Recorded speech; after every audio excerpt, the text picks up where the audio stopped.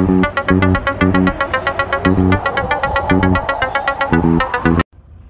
everyone, Aaron and Winston is just in the corner here. If I can get my little tripod. Hey. So this is the Winniesbago, named after that little nugget over there. You can hear nibbling in the background. Um, this is my 1992 GMC Vandura box truck edition. Uh, the reason I chose this model was because when I heard I was getting renovicted and I needed a backup plan, I had a um, Dodge Grand Caravan, which is sweet. They're great camping vehicles, but I wanted something low key, and I kind of fell down the rabbit hole, which you are likely doing now, which is how you found this video, of types of conversion you can do, uh, particularly stealth campers, which I knew I would be living and working in this thing, and I had to be low key. So when I discovered box trucks were a thing, I didn't even know what a box truck was. You see them all over. It's basically a a U-Haul, which you know once it's, it's like a, a, buying a car, you now see them everywhere because they exist everywhere. It's how 90% of businesses operate. Which is the beauty of it. Because people see a white box truck and they don't bat an eye. They're so common. And that's why they're wonderful. Because they are just bland and boring, which is exactly what we want. There's people who do murals on the sides of the vehicles, do stickers. I've seen some gorgeous conversions, and that's awesome for them.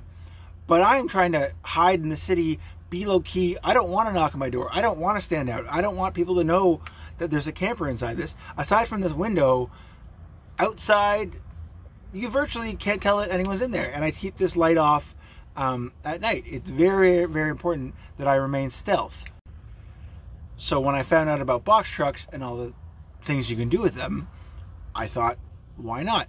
So I'm going to go over a quick video of the pros and then eventually the cons of box trucks. So if you look, there are no curved walls.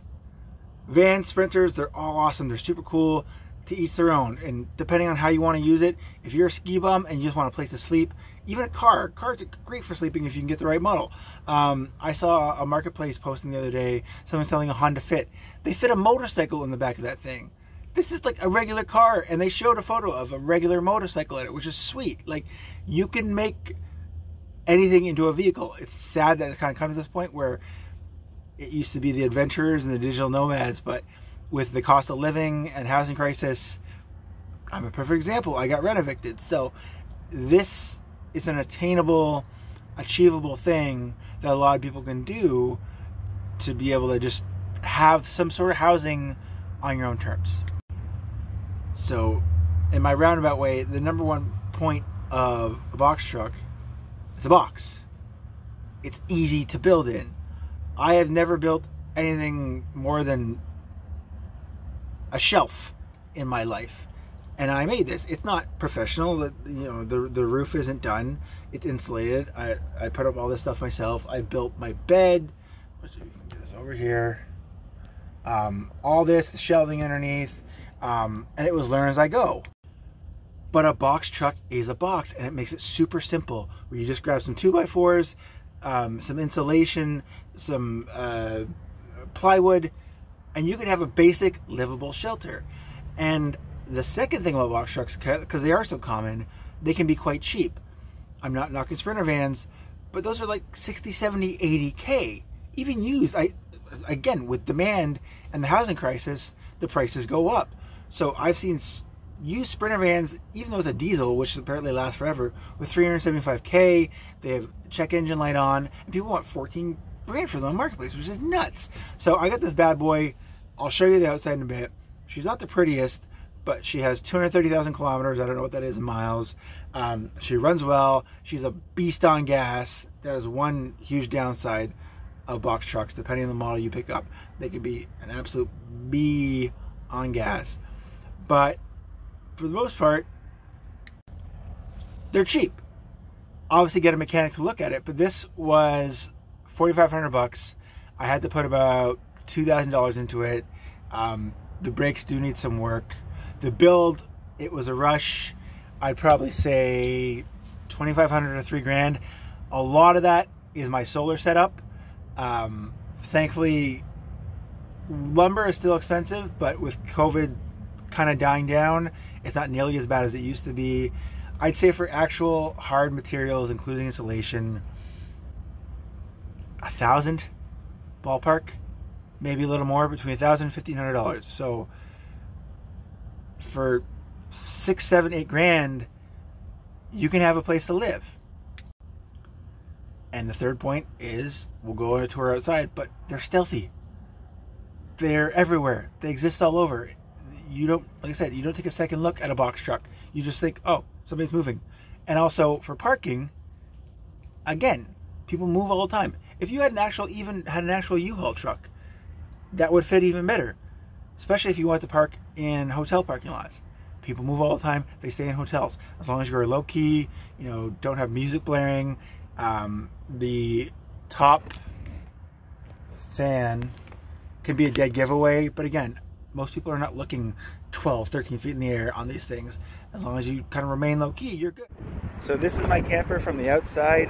Um, other than the door, like I said, it's just a plain old, boring looking box truck. I've got the dualies, um, the back. I've got lift gate, which I do not need as a bunch of heavy weight that I need to get rid of. And really, like I said, other than the window, which I've seen people cover it with a grate, but I accept it as what it is. Um, obviously, this thing is ugly as sin, but for the most part, it just looks like a regular box truck from the outside. Downsides of a box truck. As I mentioned, gas. A lot of them are meant for highway driving. They get good efficiency once they get rolling. For stop and start, like I do, I live in the city. I can't afford to do my road trip yet. I'm still, I want to have a bit, bit be more mechanically sound. Canada is around 7,000 kilometers wide, and I plan on going coast to coast. So we're staying here. I'm fortunate that I have a job, that I can save money, that I can make things happen, and once we get all fixed up we're gonna hit the road. So that'll be really cool. But even just driving 10 minutes to my job if that in minimal traffic I'm probably spending 60 70 bucks a week on gas which if you've driven a truck before it probably isn't that big of a deal but I drove a Pontiac G7 which was fuel sipping. This thing has a 5.7 liter engine. It is a beast. And like I said, it's from the 90s so it adds up one massive downside, and this may depend on where you live, something I was shocked about, and this happened after I bought it. I bought it, I went to register it, I called my insurance company, I'm like, they're like, what's the VIN? I'm like, give it to me again. Are you sure it's the right one? Yep. Is that a commercial vehicle? No, I'm buying it. I'm not starting a moving company. I'm, I'm trying to have a place to live. Most box trucks are classified as commercial. It doesn't matter what you want to use it for. They don't care if you're using it to live in, whether it's going to sit in your driveway, whether you're going to start a trucking business. You need to have commercial insurance, which if you don't have much of a record, especially in that area, it can be quite expensive. Um, just during the build, while I was sitting in my driveway, not moving anywhere, it was about 230 bucks a month. This all depends fully on your driving record, um, your history, but that can be a bit of a barrier once you get it converted to a camper, it will go down significantly, and I'm in the process of doing that. But realistically, it does make sense. I, with a normal Class 5 license, most people can drive these with a regular license. This is a 5,000 pound plus heavy vehicle. This can do a lot of damage if I'm not paying attention, if I'm driving distracted, if there's a mechanical failure, if my brakes go. If I hit someone they're probably not walking away and their car might be a write-off. So understandably, insurance can be a lot more expensive. So before you go off on your big road trip around the world, just make sure you know the costs and what the regulations are and what the process is to get your vehicle, once it's converted, um, changed and designated as an RV or a camper. And kind of piggybacking off that point, as awesome as this thing is to drive and be basically invisible in most places, there are places that physically can't go. I generally either need to take up two full parking spots. I don't take up the whole thing, but this will not fit in one with the tailgate hanging off. It's about four or five feet into the lot if I just pulled into a regular parking spot. So generally you have to take up two spots. Um, or if you're one of those, you know, there's the grasses here. You can back it in where the ass of it is hanging over and you have more room. And I don't really see why this would be this big of an issue, but as I mentioned in a previous short, height. You are not used to driving a vehicle this tall. This thing is about 12 feet ballpark with the solar panels, which don't go up that much, but um, I remember one of the first times driving this around the neighborhood, just parking on a, a side street. Thankfully, I was going quite slow. All of a sudden, the entire thing shook, and I'm glad I just changed my underwear because I probably would have needed a new pair. But I hit a branch of a tree that was hanging down. It wasn't low hanging, it was just a normal tree, but the corner of the box hit it and it shook the entire vehicle. And if I'd gone, been going much faster, it would have been really bad news. I don't know which would have lost because this thing's pretty beefy, but I don't know who would have won, the truck or the tree. But that's something to be aware of. And just little stuff like parking garages, bridges. A vehicle this size generally can make it under most bridges. We're not driving a big rig, we're not driving an 18 wheeler. We're pretty much okay in the height department. But it is something you now need to be aware of because unless you want a canopper effect happening on your beautiful camper, you really need to pay attention. And I guess one more thing is just comfortability. Um, a lot of people may not be comfortable driving a vehicle this size. I know it was a big step up for me. I've driven bigger vehicles in the past. I'm comfortable with them, um, but I went from driving a little bitty Pontiac to this bad boy, and it's just an adjustment. And some people, I don't care how long you've been doing it, you might not feel comfortable because, again, potential damage and just it's unwieldy. And if you can afford a Sprinter or that's what you want, go for it. If you want to camp in a little mini car, do that too. Um, the beautiful thing with this whole camper world is you can pretty much turn anything into a camper, whether it be a teardrop camper or a big bad boy like this.